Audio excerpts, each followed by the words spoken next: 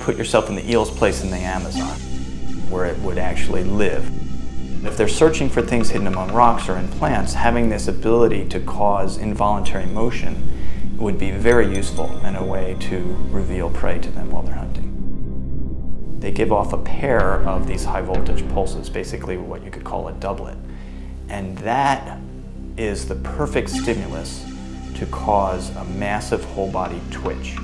That twitch is the cue to give away the position of the prey item to the eel, which is very sensitive to slight water movements. So it'll attack a very slight water movement.